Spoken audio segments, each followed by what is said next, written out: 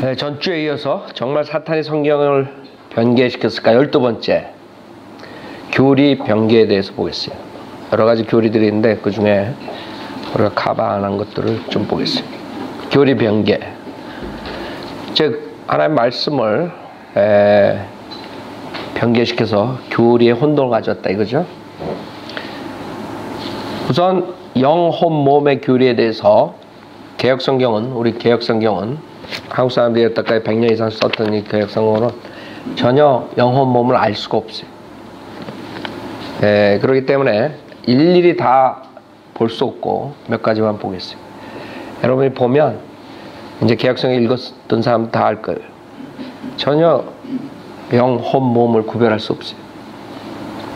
우선 제일 처음에 창세기 1장 2절에서 하나님의 영을 하나님의 신이라 그랬어요. 예?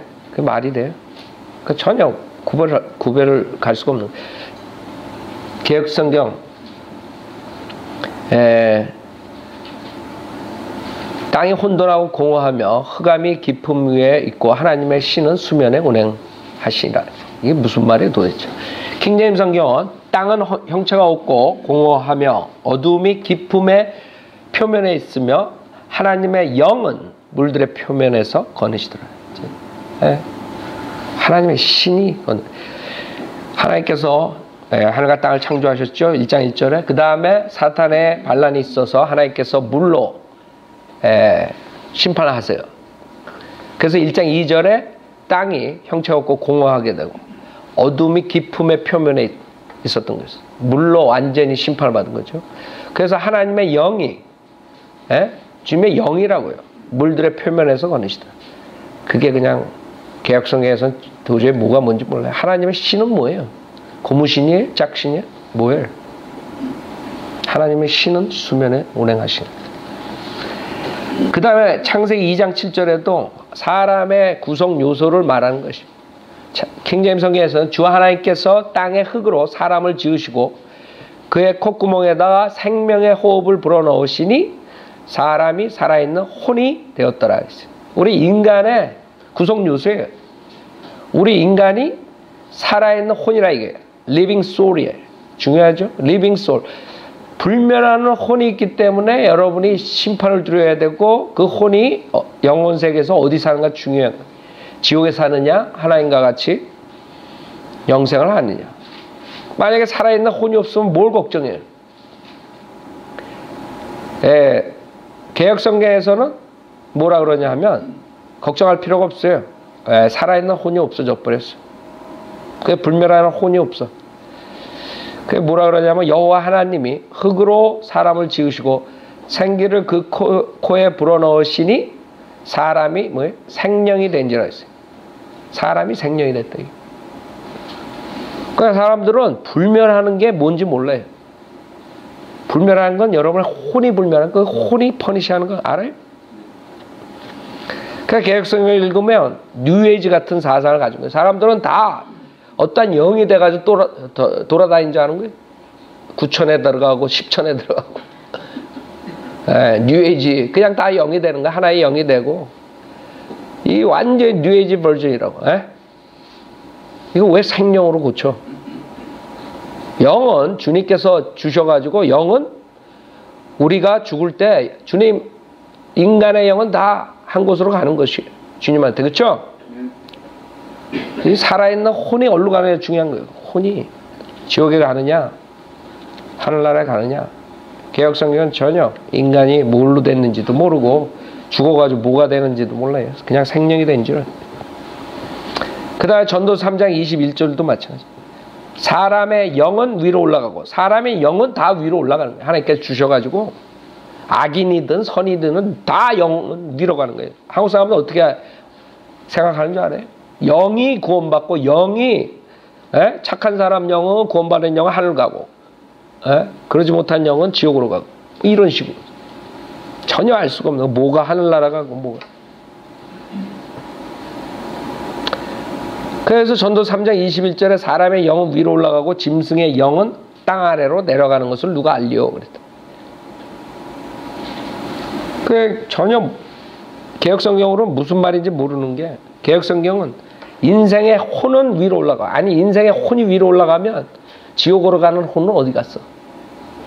그 영을 몰라 가지고 혼이라고 번역을 해버린 거예요. 영이 졸지에 혼이 돼버렸어. 그 지옥 가는 혼은 없어. 다 위로 올라가는 거야. 이걸 성경이라고 가지고 있었다. 근데도 이게 변개된 게 아니라 이게. 아니 사람의 구성 요소를 알 수 없게 만들고 사람이 죽으면 뭐가 지옥에 가고 뭐가 하늘나라고 전혀 모르는 게 이게 변개된 게 아니에요. 그 우긴다고. 개혁성경은 인생의 혼은 위로 올라가고 짐승의 혼은 아래 곧 땅으로 내려가는 줄을 누가 알아요? 짐승의 혼은 아래로. 그러니까 그 사람들은 짐승의 영이 있다는 조차도 모르는 거예요. 사람의 영하고 틀린 짐승의 영이 있다고. 짐승의 영이 있어야지 호흡을 하고 살지. 영이 호흡인데. 개혁성경 읽는 사람들은 짐승의 영이 있다 그러면 뒤집어진다고. 아니 앞으로 꼬꾸라지든가. 킹제임 성경은 분명히 짐승의 영이 있다 그래요. 알아요? 근데 거기는 영이 아니라 혼이 땅으로 간다 이게. 말도 안 되죠. 그 다음에 베드로 전서 1장 9절에도 이는 너의 믿음의 결과 곧 너의 혼들의 구원을 받는 거예요. 혼들의 구원이 혼이 구원받는 거예요. 개혁성경 읽으면 믿음의 결국 곧 영혼의 구원을 받아요. 그래서 그 사람들 영혼이 구원받으라 해요. 영혼이. 영과 혼을 전혀 모르는 혼을 영혼으로 그래. 뭐가 구원받는지 한국 사람은 전혀 모르는 구원이 뭔지도 모르는 구원받, 구원이 그 사람들은 그냥 교회 잘 나가고 배불르게 사업 잘 되고 자식들 잘 되고 이게 구원이야. 혼들이 구원을 받는 거예요. 곤도전서 15장 45절 따라서 이와 같이 기록되었으니 첫사람 아담은 살아있는 혼이 되었느니라. 예? 주님께서 살아있는 혼으로 만드신 인간을 살아있는 혼이라고 인간이 첫사람 아담이 살아있는 혼이 되었느니라. 함과 같이 마지막 아담은 살려주는 영이 되었느니라. 마, 마지막 아담은 누구예요? 예수님이라고. 예수님이 살려주는 영이 됐다. 그래서 여러분이 거듭나는 거예요. 고린도전서 15장 45절이 개혁성경은 기록된 바 첫 사람 아담은 산 영이 되었다. 알아요? 살아있는 혼이 된 게 아니에요.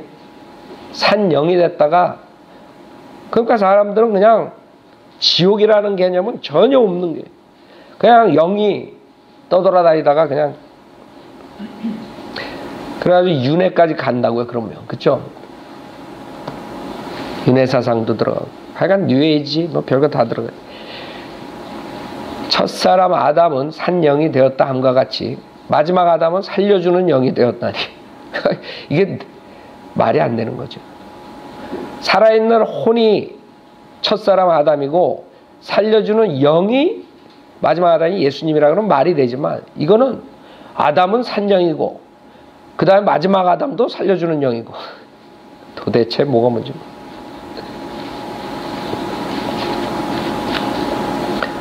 요한 3서 2절 사랑하는 자여 무엇보다도 내 혼이 잘됨 같이 내가 번성하고 강건하기를 바라노라 그랬어요. 개혁성경은 사랑하는 자여 내 영혼이 잘된 같이 또 영혼은 영혼이라 그랬어요.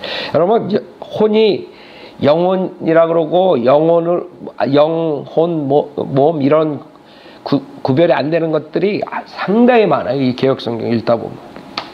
여기까지만 하겠어요. 영혼, 혼 그런 것들. 이렇게 혼동을 가져온 거야. 영혼, 몸의 교리가 완전히 변개될 뿐 개혁성.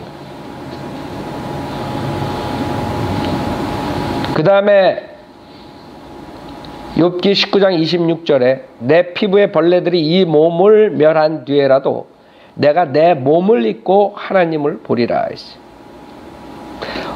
이 욥기에 나오는 것은 이 몸이 멸하더라도 몸이 없어지더라도 나중에 내 몸을 입고 하나님을 보리라 무슨 말이에요? 부활이라고 몸의 부활 몸의 부활이라고 언젠가는 내가 몸을 부활의 몸을 입는다 그렇죠? 개혁성경 뭐라는 줄 알아요? 나의 이 가죽 이것이 썩은 후에 내가 육체 밖에서 하나님을 보리라 했어요. 몸의 부활을 부인해 버립니다. 몸의 부활의 교리를. 육체 밖에서 하나님을 보는 거야. 아니죠. 킹제임 성경 내 몸을 입고 하나님을 보는 거예요. 우리가 육신을 입고 보는 거야.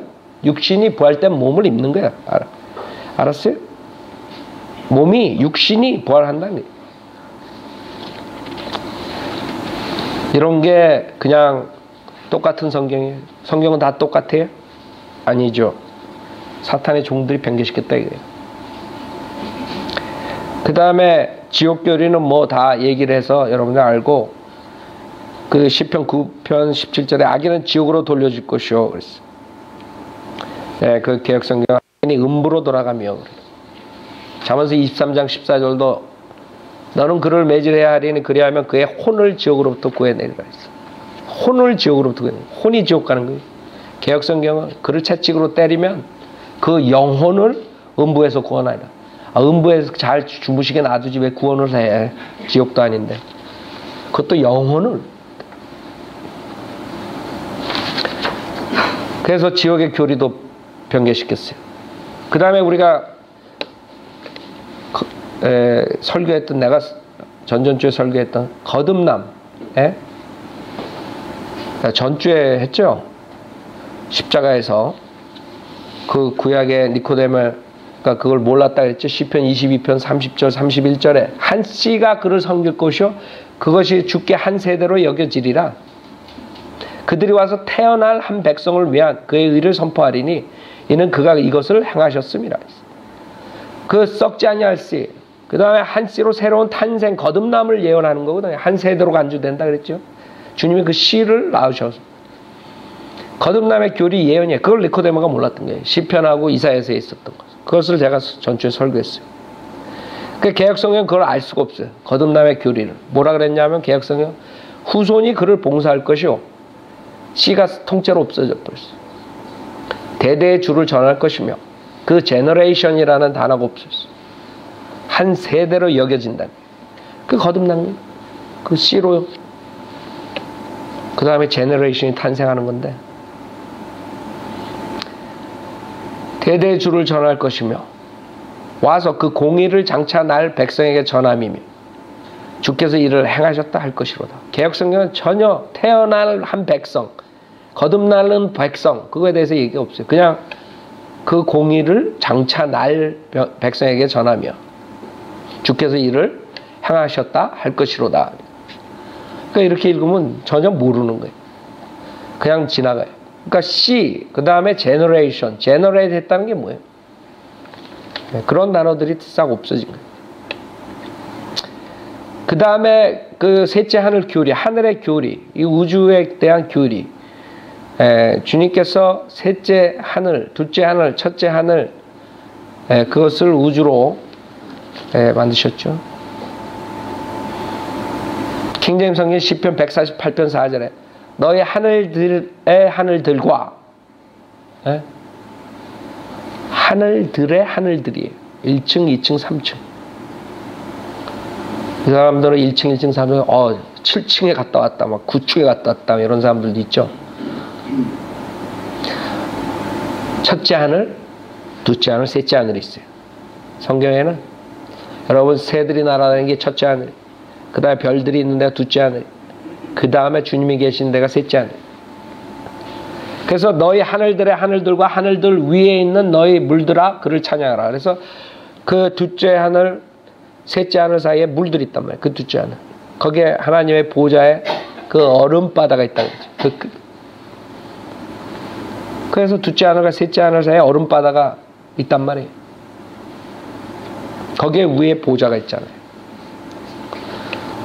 그 물들의 끝이 얼음으로 되어 있단 말이에요. 무슨 말인지 알아요? 그게 첫째 하늘, 둘째 하늘, 셋째 하늘에 대한 교리인데 개혁성경 하늘의 하늘도 찬양하면 복수가 하나도 없어졌어. 복수가 다 없어졌어. 하늘의 하늘도 찬양하며 하늘 위에 있는 물들도 찬양할지어다. 전혀 셋째 하늘 교리에 대해서 알 수가 없어요. 그 다음에 뭐 성경에 그 아까 우리가 봤듯이 신이라는 단어를 굉장히 개혁성에 많이 썼어요. 예, 신은 성경에 여러 신들이 있어요. 주도 여러 주들이 있고 킹제임 성경에는 하나님이라고요. 근데 개혁 성경은 신이라고 많이 썼어요. 이사야서 45장 5절에 나는 주여 아무도 다른 이가 없나니 나 외에 다른 하나님이 없느니라 했어요. 개혁 성경은 나는 여호와라 나 외에 다른 이가 없나니 나밖에 신이 없느니라.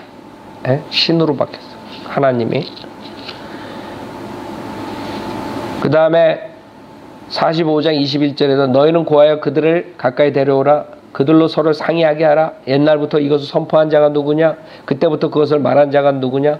나 주가 아니냐? 나 외에 다른 하나님이 없나니 다른 하나님이 없대. 공의로운 하나님 곧 구주가 나 외에는 없느니라. 개혁성경은 너희는 고하며 진술하고 또 피차 상의하여 보라 이 일을 이전부터 보인 자가 누구냐 예로부터 고한 자가 누구냐 나 여호와가 아니냐 나 외에 다른 신이 없나니? 나는 공의를 행하며 구원을 베푸는 하나님이라. 나 외에 다른 이가 없느니라. 다른 신이 없나니? 다른 하나님이 없나니? 그랬는데 신으로 바꿨죠. 그 다음에 여호와 다 주라고 그런 것을 또 여호와로 다 했어요. 그래가지고 신약의 주가 그 여호와 하나님이란 사실을 개혁성경을 보면 모르는 그러니까 신약에 나오는 주 예수님은 여호와랑 틀린 존재가 돼버린 게 졸제. 킹제임 성경만 주라 그랬다. 여호와를. 그래서 몇 번의 여호와 외에 나머지는 다 주라고 번역을 했는데 킹제임 성경은 다 여호와예요. 다. 그래서 신약의 주 예수님과 이렇게 연결시킬 수가 없게 만들어 버렸어요. 다른 존재로 만들었다 이게. 그 다음에 이것은 내가 그 했던 건데 그 적그리스도의 그 활동에 대한 규례. 적그리스도가 뭘로 나타나느냐. 다니엘서 8장 25절에 킹제임 성경 그의 지혜를 통하여 그가 자기 손에 기술을 늘려서 자기 마음속에 자신을 높이고 평화로 많은 것을 멸하리라 했어요. 평화로 많은 것을 멸하는 거예요. 그러니까 총칼 들고 멸하는 게 아니야. 평화를 가지고 와서 속여가지고 평화를 가지고 등장해가지고 많은 것을 멸한다. 그러니까 여러분이 적그리스도가 어떻게 나타나는 것을 킹제임 성경을 통해서 알 수 있죠. 이 교황 같은 자들이 평화를 얘기하고 이 오바마니 이런 자들이 평화를 얘기하는 그 자들이 적그리스도 활동을 하는 자들이 그 우리 안다고 아 저것들이 적그리스도 왕국을 가져오겠구나 딱 알 수 있지. 그는 또한 통치자들 중에 통치자를 대적하여 설 것이나 그가 사람의 손에 의하지 않고 부서지게 되리라.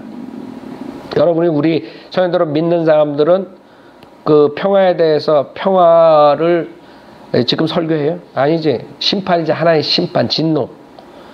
하나의 심판하시고 평화로 통치하신다 얘기를 하지. 이자들하고 완전히 틀려요. 그래서 하나님을 대적하는 거거든. 그 개혁성경은 뭐라 그러냐? 그가 꾀를 베풀어, 꾀를 베풀어. 예, 제 손으로 괴후를 이루고 도대체 뭔지 모르는 거예요. 예. 킹제임 성경의 지혜를 통하여 그가 자기 손에 기술을 늘려서 자기 마음 속에 자신을 높이고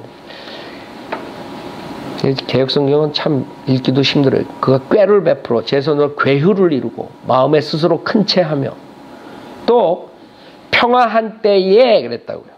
요게 변개된 거예요. 평화로 많은 것을 멸하리라 킹제임 성경은 그건데 지금 뭐 적그리스도가 어떤 걸 도구로 써가지고 에? 멸하는 것을 이 개혁 성경은 어떤 때에 적그리스도가 나온다 이렇게 말해요.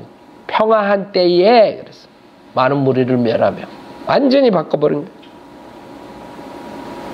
그러니까 적그리스도가 이상한 때에 등장하게 되는 거예요. 예, 개혁성 읽으면 평화한 때에 온다. 평화한 때 많은 무리를 멸하며 또 스스로 서서 만왕의 왕을 대적할 것이나 그것도 뭐예요? 그가 사람의 손을 말미암지 않고 깨어지리라. 다니엘서 11장 21절도 킹제임 성경 또 그의 자리에 한 비열한 사람이 서리니 사람들은 그에게 왕국의 뭐 명예를 주지 아니할 것이나 그는 평화롭게 와서 술책으로 그 왕국을 얻을 것이며 그래서 그 왕국을 어떻게 얻어요? 예, 방법은 평화롭게 와서 얻는다 술책으로. 그러니까 속이는 거예요. 평화를 가장해서 나타나는 예, 적그리스도 활동인데 방법이고. 개혁성경은 또 그의 위를 이을 자는 한 비천한 사람이라 나라 영광을 그에게 주지 아니할 것이나 그가 평안한 때를 타서 그 평안한 때 또 바꿨다고 평화롭게 와서가 아니라 평안한 때를 타서 괴hul로 그날을 얻을 것입니다. 그러니까 평안한 때에 나타나는 거예요. 적그리스도. 이 개혁성을 읽으면 킹제임성을 읽으면 아 이자가 평화를 가지고 평화롭게 와서 사기치는구나 그걸 알 수 있는데 그 다음에 미카소 5장 2절 그러나 너 베들레헴 유프라타야 내가 비록 유다의 수천 가운데서 작을지라도 이스라엘을 통치할 자가 너로부터 내게로 나오리라 그의 나오심은 예로부터요 영원부터였느니라 미카소 5장 2절 주님의 신성이에요 영원하신 분이라고 에? 예? 주님은 영원부터 계신 분이에요 개혁성경은 뭐예요? 베들레헴 에프라다야 너는 유다 족속 중에 작을지라도 이스라엘을 다스릴 자가 내게서 내게로 나올 것이라. 그의 근본은 상고에 태초에니라 태초. 세상을 창조할 때 그때서부터요 영원이 아니야. 무슨 말인지 알아요? 예수님의 신성을 부인하는 거예요. 영원하신 예수님은 하나님의 신성이죠. 하나님이라. 그 다음에 말라키 4장 2절에 그러나 내 이름을 두려워하는 너에게는 그의 태양이 그의 날개의 치유를 가지고 솟아오르리니 그리하면 너희는 나가서 외양간의 송아지들처럼 자라리라 주님께서 그 이스라엘 백성의 재림하시고 의의 태양으로 오시는 것에 대해서 얘기하는 거죠. 그거를 개혁 성경에서 변경된 성경에선 고쳐가지고 지금 은사주의자들이 그 표적의 은사를 행하는. 사탄의 표적의 은사를. 뭐라고 변개시켰냐면 내 이름을 경외하는 너에게는 의로운 해가 떠올라서 치료하는 광선을 바라리니. 그 빛을 바란다 이거예요. 그걸 가지고 얼마나 많이 빛 받아라 불 받아라 알리들이 치료하는 광선을 바라리네. 그렇게 변개시켰어요. 예? 여기는 날개의 치유를 가지고라고요. 어디 광선을 바란다는 말이 어디 있어? 무슨 광선? 여러분 마지막 때 그 마귀의 그 술책이 많은 빛을 가지고 나타난다고 빛으로 빛의 열매 예, 성령의 열매 빛의 열매로 변개시켰죠. 그 빛을 가지고 나온다. 캐토릭에서 많은 사람들이 빛을 봤다 그러죠. 은사주의 목사들이 빛을 봤다 그러 이게 다 빛의 천사로 가장한 마 사탄을 본 거거든요. 음, 그래서 사탄의 그 표적을 가지고 나오는 그런 교리를 만들어 가지고 은사주의자들을 만들어 버리는 거예요. 말라키 4장이죠. 해가 떠올라서 치료하는 광선을 바라니 너희는 너희가 나가서 외양간에서 나온 송아지 같이 뛰리라. 주님이 재림하시고 의의 태양으로서 재림하신다는 그 교리를 재림 교리를 지금 초림하고 그 은사주의자들이 교회 시대에 써먹게 돼버리는 거예요. 이렇게 변개시켜가지고. 이건 재림 얘기예요. 그 다음에 그 성경의 많은 부분들이 마귀를 귀신이라 그랬죠. 네, 그것은 우리가 복음서에서 봤죠. 그게 왜 중요하냐면 귀신론을 만든 자들이 한국에서 나타난 거예요. 김기동이니 이명 이명범이니 그 다음에 여기도 은혜교회 한기영이니 그 다음에 여기 아가페 교회 김요한이니 성락교회 이게 다 그 자들이라고. 귀신론을 가리켜. 귀신이 뭐냐? 그 자들은. 불신자들. 구원받지 못한 사람들의 영혼이 귀신이 돼가지고 떠돌아다니다 여러분한테 들어온다 이게.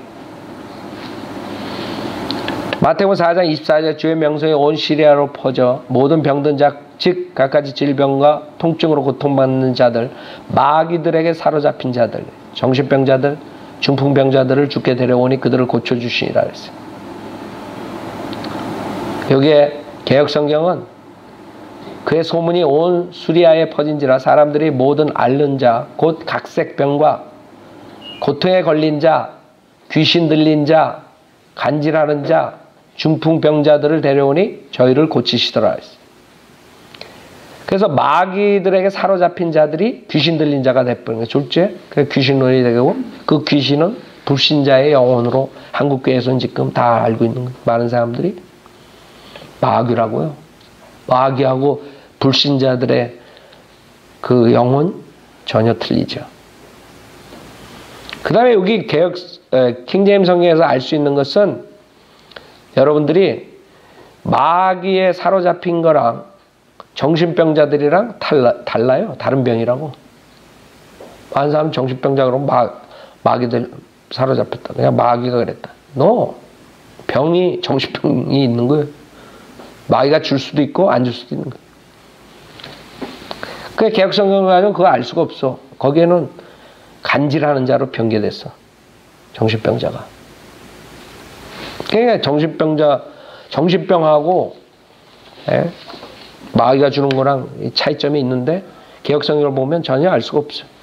정신병을 간질 간질병자로 만들었어.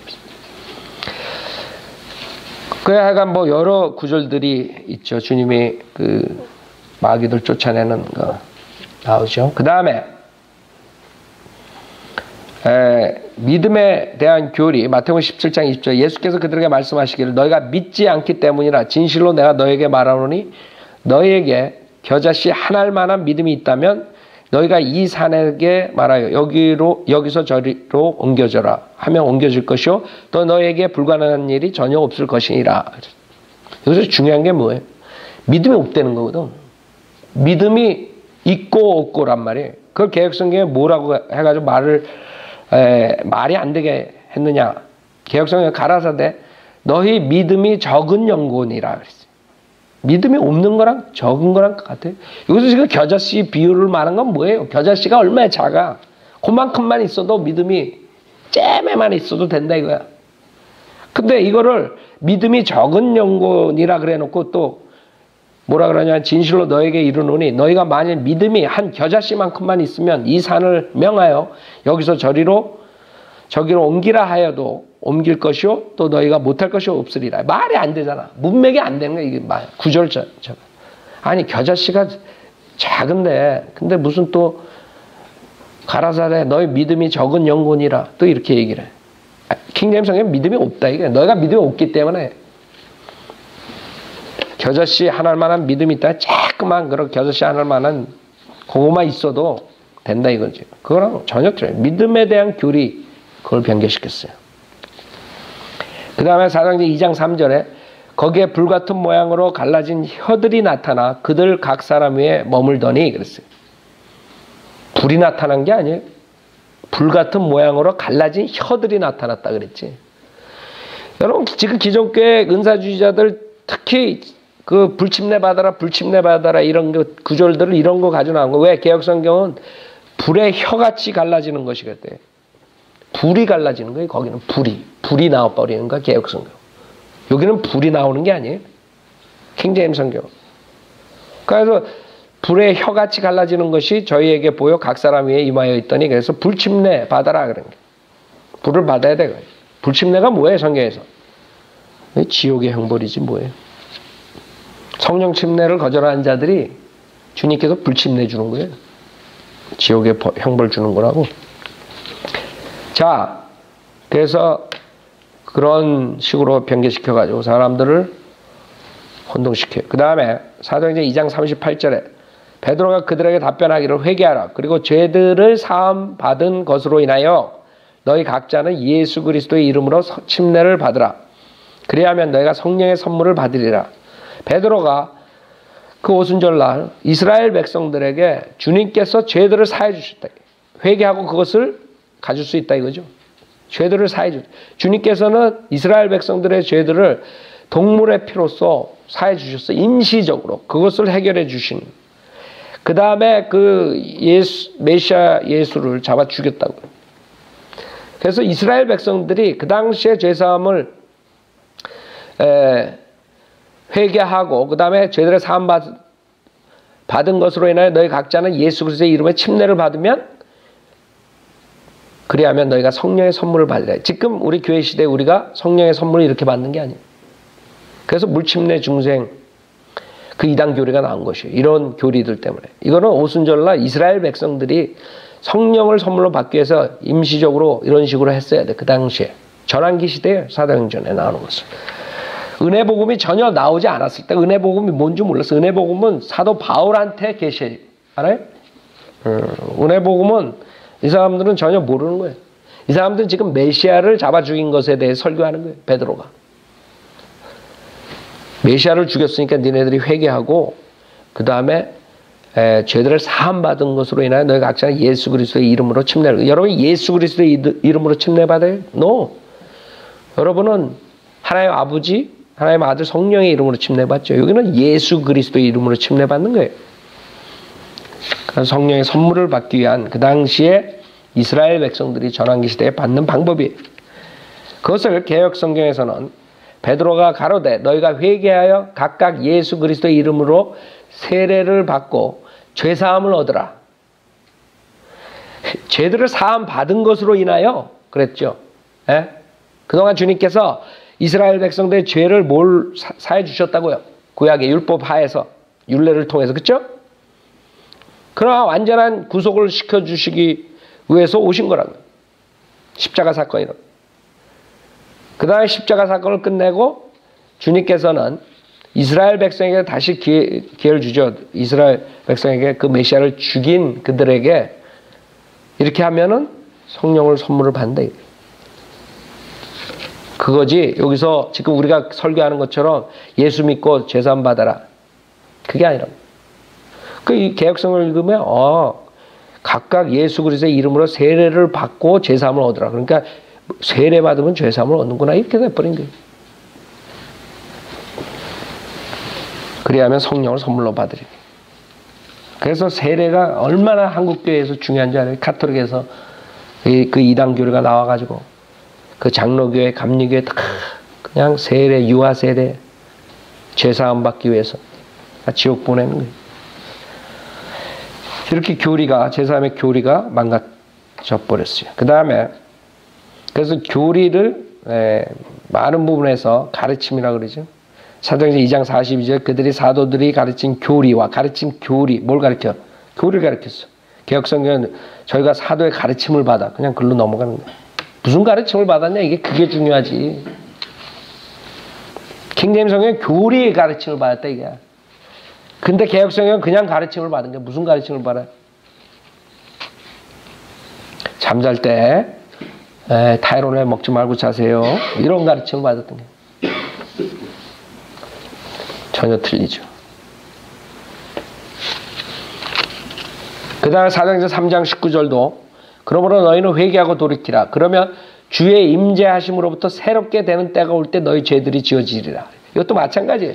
그 당시에 베드로가 설교하면서 그 이스라엘 백성에게 하나님께서 니네들이 지금 회개하고 돌이키면 주의 임재하심으로부터 새롭게 되는 때 이스라엘 백성의 회복 구약에 예언했던 새 언약이라고 주님께서 그 이스라엘 민족적으로 죄 사함을 해주겠다. 이걸 말하는 거지. 지금 우리가 예수 믿고 죄 사함 받는 게 아니지. 그 이게 또 전환기 시대에 사정전 3장에서 그 이스라엘 백성들에게 그 당시에 설교하는 거예요. 물론 베드로는 성령의 충만으로서 성령의 인도함으로 설교했다고요. 그렇죠? 베드로가 은혜 복음이 뭔지 알고 모든 그런 지금 우리가 배우는 그런 교리 알고 설교하는 게 아니에요. 지금 오순절날. 그 다음에 그래서 완전하게 그 이스라엘 백성을 향해서 그 새 언약에 대해서 구약에 예언했던 주의 임재하심으로부터 새롭게 되는 때가 올 때 언제예요? 주님의 재림이라고 천년 왕국 그때에 민족적으로 죄들이 지어진다는 걸 얘기하는 거지 여기서 그거를 개혁 성경에선 또 뭐라고 변개시켰냐면 그러므로 너희가 회개하고 돌이켜 너희 죄 없이 함을 받으라. 지금 우리가 설교하는 거 은혜 복음을 또 얘기하는 너희가 회개하고 돌이켜 너희 죄 없이 함을 받으라. 지금 받는 거야. 예수 믿으면 죄산 받아라. 이거 우리 설교랑 똑같아. 아니죠. 킹제임 성경에는 지금 회개하고 돌이키면 주의 임재하심으로부터 새롭게 되는 때가 올 때 너희 죄들이 지워지리라. 그 구약에 약속했던 새 언약이라고. 이스라엘 백성에게 약속했던 언약이라고. 주님이 재림하시고 그 다음에 그 민족적으로 죄들을 지어주신다는 그거를 또이 사람들이 변개시켜 버린 거예요. 그래서 사도행전 7장, 8장 그 뒤에 가서 이제 사도 바울이 나오고 사도 바울에게 은혜 복음 그걸 계시하시고 그 은혜 복음을 가지고 전파하게 되는 거예요. 사도들이 이전까지는 전환기 시대 너희 죄 없이 함을 받으라. 이같이 하면 유쾌하게 되는 날이 주 앞으로부터 이를 것이요. 말이 안 되죠. 유쾌하게 되는 날이 온다 이거야. 그게 아니지. 새롭게 되는 때에 너희 죄들이 지워진다는 말이지. 그러니까 전혀 틀려요. 개혁성경은. 예. 개혁성경을 읽으면 아, 지금 예수 믿고 죄사함 받으면 유쾌한 날이 온다. 이렇게 돼버린. 전혀 틀린 거예요. 전혀. 이것은 이스라엘 백성들의 그 죄사함에 대한 구원에 대한 교리란 말이에요. 중요한 교리죠. 그 다음에 사도행전 3장 25절에 너희는 그 선지자들의 자손이며 또 하나님께서 우리 조상들과 세우신 언약의 자손이라 아브라함에게 말씀하시기를 내 씨 안에서 땅의 모든 족속의 복을 받으라. 내 씨 안에서. 그쵸? 여러분 예수 안에서만이 복을 받을 수 있는 거예요. 예수 밖에 있는 사람들은 복을 받을 수 없어요. 모든 인간이 다 복 받는 거 아니에요? 그러니까 계획성을 읽으면 너는 선지자들의 자손이요. 또 하나님이 너희 조상으로 더불어 세우신 언약의 자손이라 아브라함에게 이르시기를 땅의 모든 족속이 모든 족속이 너희 씨를 인하여 복을 받으라. 그러니까 예수 때문에 모든 족속이 다 복을 받는 거야. 그렇게 되는 거야. 계획성을 읽다 보면 아니지. 킹제임성에 내씨 안에서라도 모든 족속이 그냥 예수 때문에 복을 받는 게 아니란 말이에요. 알아요?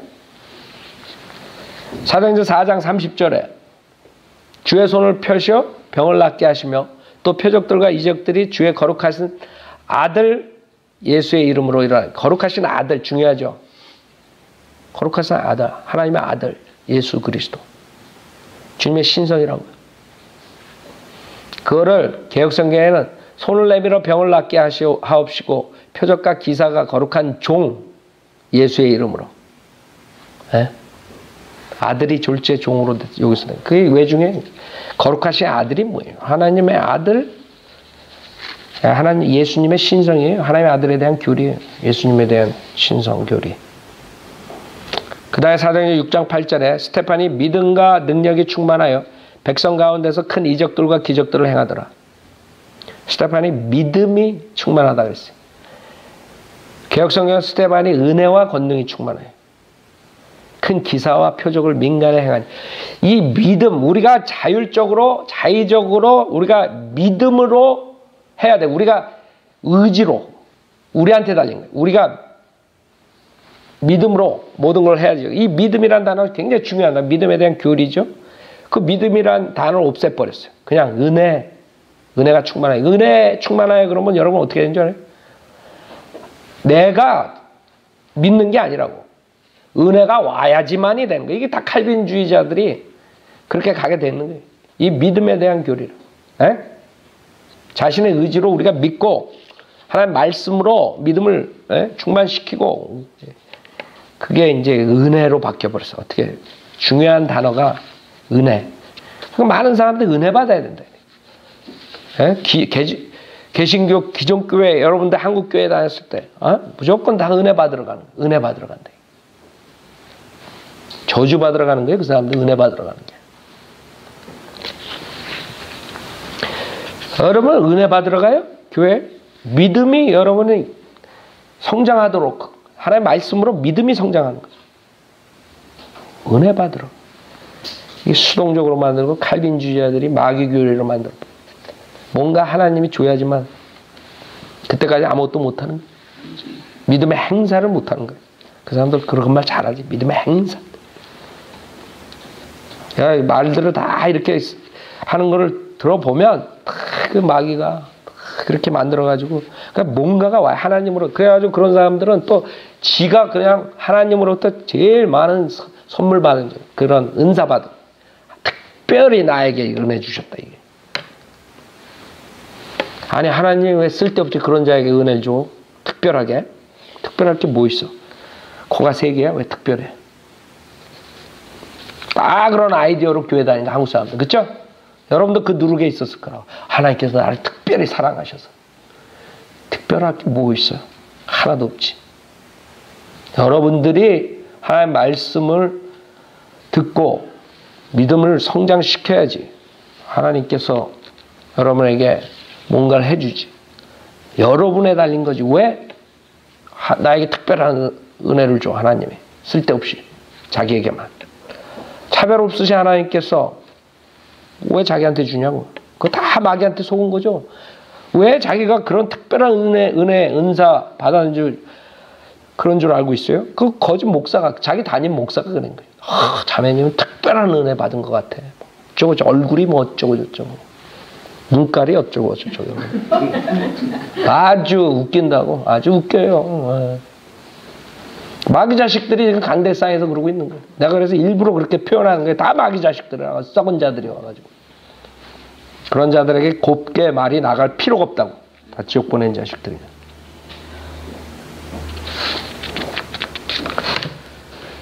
하나만 더 하고. 사도행전 15장 24절.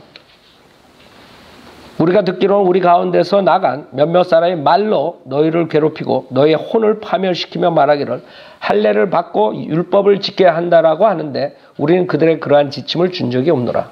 이것도 제가 한번 얘기했다. 행위 구원을 여기서 하기 때문에 아주 중요한 그 당시에 초대교회 때 그 논쟁이었어요. 어떤 사람은 할례를 받아야 구원받는다. 할례 받고 율법을 지켜야 한다. 그게 아니라는 것을 지금 얘기한 거예요. 은혜 복음에 대해서 이제는 정립을 시키는 거예요. 초대교회 예루살렘 교회에서. 그 전까지는 이렇게 정확하게 은혜 복음에 대해서 몰랐단 말이에요. 그래서 어떤 사람들은 그 가운데서 할례 받아야 된다. 그런 사람들이 나왔기 때문에 지금 이 말을 하는 거거든. 중요한 말이 뭐예요, 여기서? 할례를 받고 율법을 지켜야 한다는 그거거든요. 그래야 된다. 그야 개혁성경 그걸 통째로 없애버렸어요. 들은즉 우리 가운데서 어떤 사람들이 우리가 시킨 것도 없이 나가서 말로 너희를 괴롭게 하고 마음을 혹하게 한다 하기로 이렇게 됐어. 제일 중요한 게 빠진 거예요. 할례를 받고 율법을 지켜야 한다. 그래야 구원받는다. 이게 싹 빠져버렸어. 행위 구원. 행위 구원. 행위 구원은 안 된다 이게. 행위 구원으로 영생 얻을 수 없다. 정확하게 얘기한 거죠. 그 어떤 복음이냐 이게. 예, 로마서 1장 16절에 내가 그리스도의 복음을 부끄러워하지 않는다. 개혁 성경은 무슨 복음인지. 여러분 복음이 뭐예요? 그냥 좋은 소식이에요. 굿뉴스. 그 무슨 복음이냐 이게? 에? 모세에게 준 복음이냐 아브라함에게 준 복음이 무슨 복음이야? 여기 중요한 게 그리스도의 복음이죠. 개혁 성경은 그냥 내가 복음을 부끄러워하지 않는다. 그냥 복음이야. 그 복음. 그런데도 마귀들이 변개시키지 않은 거예요. 예. 우리는 이것은 인간이 변개시켰지만 그 뒤에는 마귀가 조정했다는 거예요. 그래서 우리가 마귀들이 변개시키고 마귀 성경이라 그러면 팔쩍팔쩍 뛰고 우리 뭐 이단이라 그러면. 그 성경은 다 똑같은. 똑같긴 뭐가 어떻게 지금 만약에 내가 12주까지 몇십 구절씩 매, 매주 가르치는데 이렇게 변개되는데 이걸 가지고 똑같다 그러면 그건 정신병원에 가야 돼. 자, 여기까지 하죠. 다음 주에 이어서 하겠습니다.